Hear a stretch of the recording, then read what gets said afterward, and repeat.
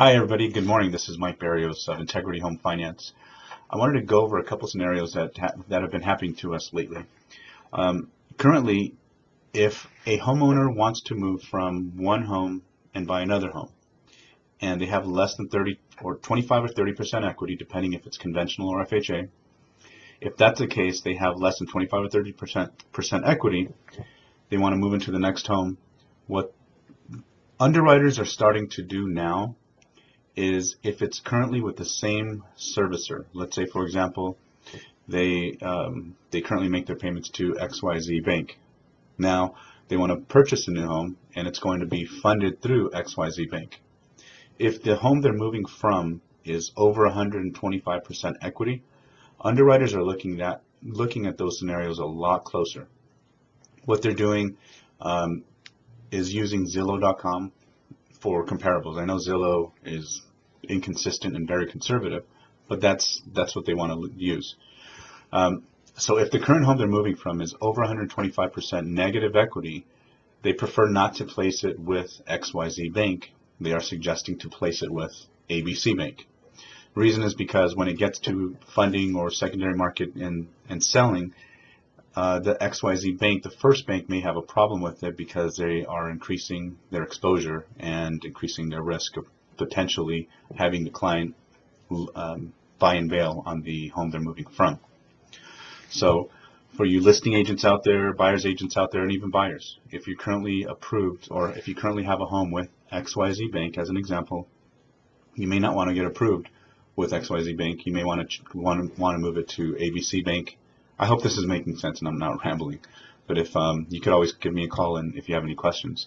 But just um, just keep in mind for you listing agents out there, if they currently have a home, if you are doing cross qualifications and looking at the client's um, credit and seeing if they have um, both banks and they're under and they're over 20, 125% equity, you may, might want to take a second look at it and and just hope that there's no problems at the 11th hour.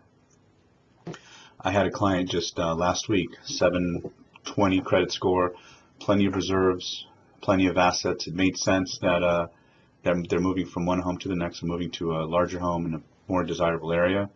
When he did get to underwriting, underwriting, um, underwriting, um, the underwriter said they they want us to move it to another investor, um, which is a little frustrating for us because it's just it kind of it's it's a case by case with underwriters sometimes. Sometimes if they feel really good about the file, if they're and if or if they're being um, told from head underwriting, the head of underwriting or whoever's upstairs, um, that would change the direction of the file. So I hope this makes sense. If it doesn't, please give me a call for you agents, listing agents, or buyers out there. Please let me know how I can help. Um, I shared this information at, at, several different real estate offices. I have the honor of, of, going to meetings, weekly meetings with. Um, so this is for the rest of you that I don't have a chance to meet or, or go to your meetings. Another, another thing that I did also mention and share is we have a tool. If um, if you ever are in need of a quick payment scenario or closing costs or down payment scenario, save the number 79564. 79564. So what you do is save it as a contact as for the number if you want say my mortgage calculator or mortgage payment. The contact number is 79564. So what all you have to do is text to this contact 79564 and text uh, the payment and uh, to text PMT and the purchase price.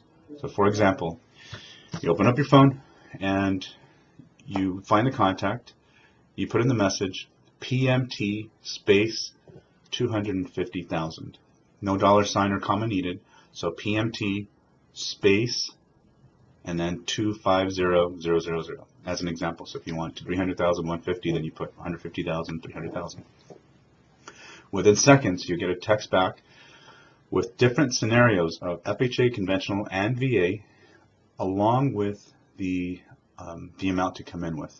Now just keep in mind, this is just for illustration purposes, just so you can get an idea of what your client needs to come in with, an estimate, also what the payment may be.